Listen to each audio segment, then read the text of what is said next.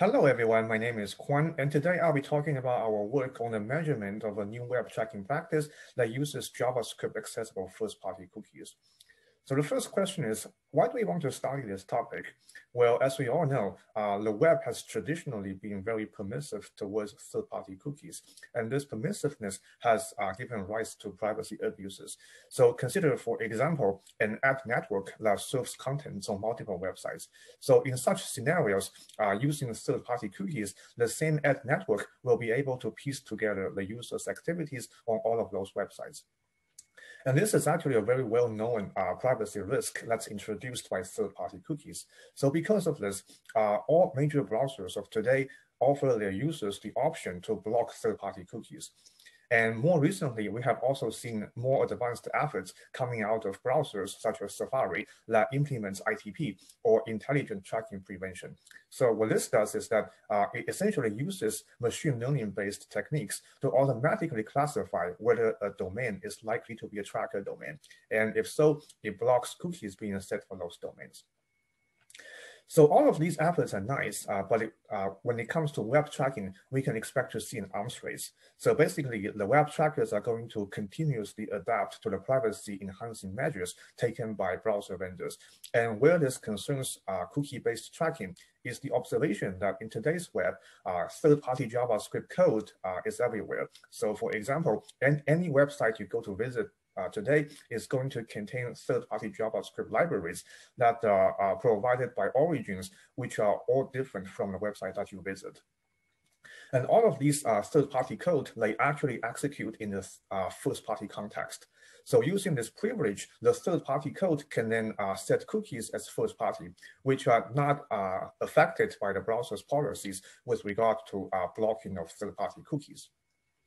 So in the rest of this work, uh, for convenience, we're going to refer to such uh, first-party cookies which are set by third-party JavaScript code as external cookies.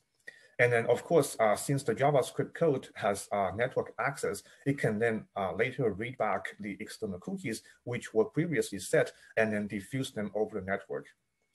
So the privacy implications that arise out of the third party's uh, JavaScript code's ability uh, to use external cookies has not been studied by previous work. So in this work, we will be trying to fill this gap.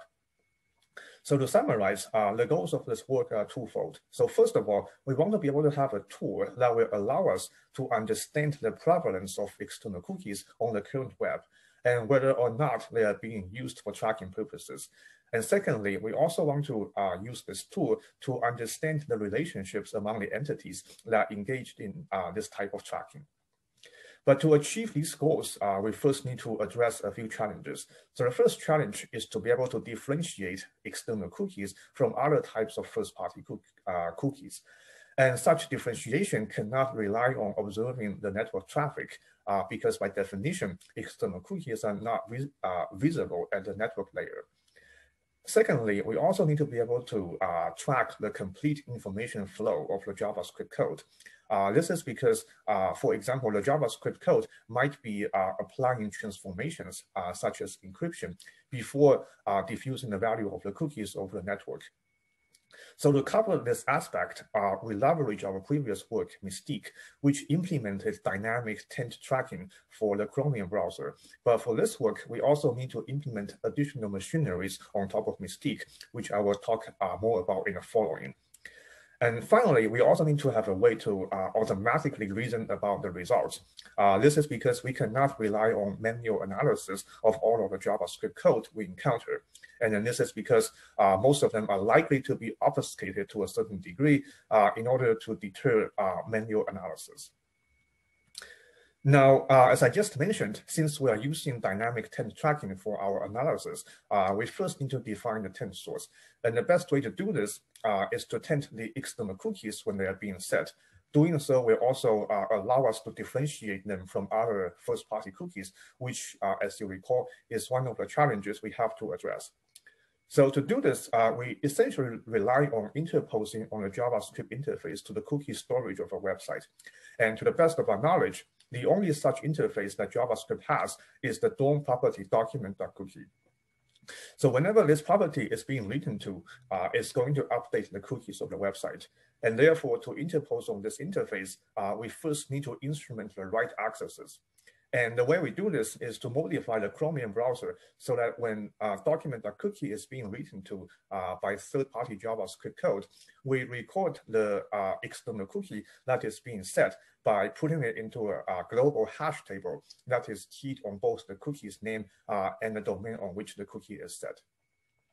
So now having this information, we can then also go ahead and uh, instrument the read accesses from this property.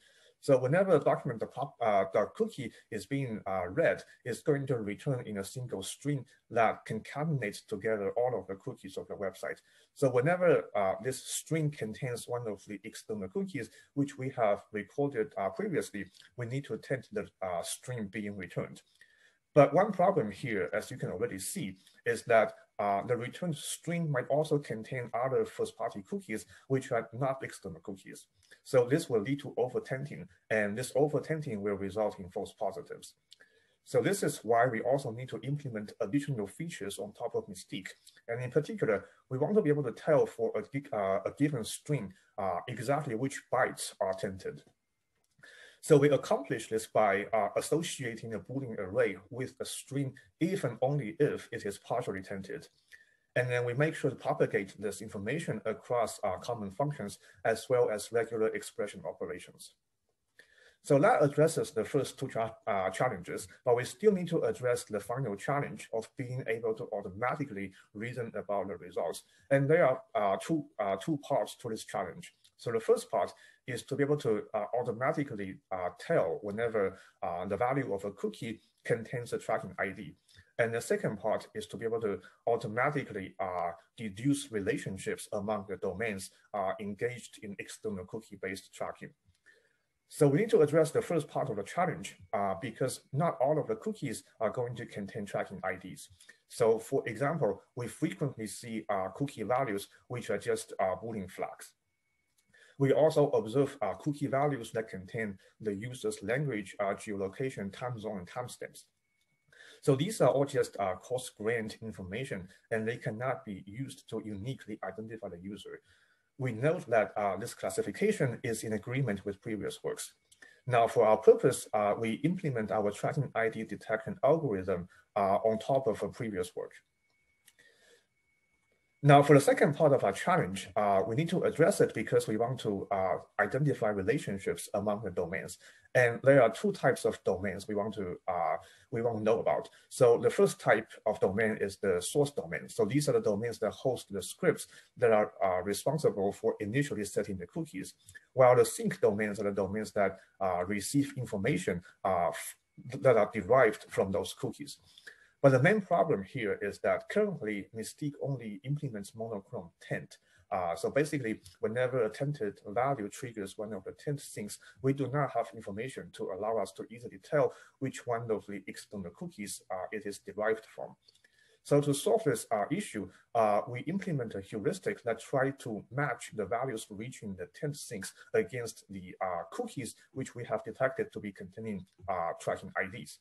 So the heuristic is going to try to do a bunch of things. But the main point here is that um, by matching the two types of values against each other, uh, we, we, we can identify relationships that would otherwise not be available to us. So we applied our system to crawling the Alexa top 10K websites, and we found that the uh, external cookies are already being widely used. Uh, so next, we also try to count the number of unique external cookies uh, using uh, the uniqueness uh, criteria, which uh, considers both the source domain of the cookie as well as the name of the cookie. So in total, we found uh, 26.6 thousand uh, unique external cookies. So in the following, uh, we will be trying to classify each one of these cookies and provide a taxonomy. So for our taxonomy, uh, the first thing we did was to try to see uh, how many of th these cookies are session cookies versus non-session cookies. So the session cookies are basically going to be uh, deleted by the browser when the user closes the current browsing session. So as a result, uh, we do not consider such cookies to be pers persistent enough uh, to track the users. So we do not uh, classify them uh, further. Now, for the non-session cookies, uh, we uh, classify them using the tracking ID detection algorithm, uh, which we mentioned earlier. So uh, we found that the, the, first thing we found was that 40, about 4,200 or 32% of all the non-session cookies uh, contain tracking IDs. And most importantly, uh, we found that nearly 40% of the ID containing cookies which we identified are set by uh, scripts that currently EasyList and EasyPrivacy uh, fail to block. So in the table here, we uh, show the rest of the categories in our taxonomy, but in the interest of time, I'm not going to go into uh, the details of each one of these. And the next thing we want to find out uh, are basically the cases uh, where the cookies are shared cross-domain. So these are cases where basically the uh, sink domain uh, is different from both the source domain and the domain on which the cookie is set. And in the figure here, we have one such example. So in this figure, uh, the sink domain is uh, at network.com, and it is different from both the source domain, which is tracker.com, and the cookie domain, which is example.com. So to find such cases, uh, we applied our heuristic to match against all of the ID containing cookies, which we uh, found in the previous step. So our heuristics was able to match uh, 3,300 or 77% uh, of all the ID containing cookies. And out of these uh, 3,300, we found uh, 2,400 that are engaged in cases of cross-domain cookie sharing. And we refer to these 2,400 uh, as the shared cookies. Now, in the figure here, uh, we try to show the overall relationship among the domains engaged in cross-domain cookie sharing. And the way to read the figures here is basically uh, the size of a node correspond to the overall degree of that node, uh, while the color of the node correspond to either uh, the number of incoming edges or the number of outgoing edges from that node. So uh, from these two figures, we can easily see the top players uh, engaged in cross-domain cookie sharing. And then in this table, we try to zoom in a little bit on some of the top players.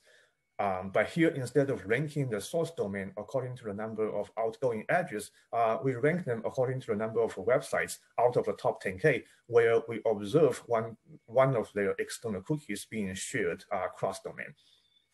Also in this table, uh, for each one of the source domain, uh, we show their uh, top cookie that is uh, being uh, shared cross-domain in the most number of websites.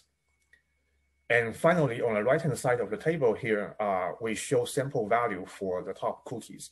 Uh, so the point here is that uh, from the sample values, we can uh, easily see that they indeed contain information that can be used to uniquely identify the user. And lastly, I want to talk about some of the case studies we found by manually examining some of the results we get. Uh, so the first case study is uh, Adobe Demdex. So this is a case where um, a script loaded from demdex.net uh, reads the Google Analytics cookie and sends it back to itself. Uh, we manually confirm that this is indeed what's happening by looking at the source code of the script. Uh, but we cannot confirm whether this is a policy violation against Google uh, because we do not know whether there is information sharing agreement between the two parties. Our second case study is the Google Analytics custom, dimension, uh, custom dimensions feature. So this is a feature that uh, allows site owners to define metrics to collect, which are not uh, collected by default by Google Analytics. So these metrics are going to be encoded in one of the CDX parameters, uh, with X being a number that is uh, sent to Google. So frequently, uh, we observe one of the CDX parameters containing uh, external cookies, which was set by other third parties. So the point we want to make here is that uh, this actually highlights uh, the abusive nature of external cookies. So here, instead of the site owners uh, using their own infrastructure to collect the cookies which are set on their website, they abuse a third-party tool. And in doing so, they probably also violated policy agreements against uh, the entities whose cookie, uh, cookies are being sent to Google without their knowledge or consent. So in conclusion, uh, in this work, we have uh, proposed and implemented tools based on dynamic taint tracking to measure and understand uh, web tracking that is done uh, via external cookies. And then we found that uh, external cookies are already being widely used for tracking purposes and that they also facilitate information exchange uh, among third parties. So our hope is that uh, through this work, we have motivated the need for better privacy countermeasures in a browser other than just uh, blocking third-party cookies. Thank you for your attention, and I hope to see you in the Q&A session of the conference.